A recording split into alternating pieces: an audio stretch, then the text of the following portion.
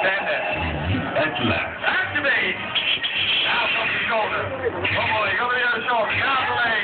Duck. Same leg. Other leg. Now the head. Yes. Anatomy. Yes. Use, use the force spots.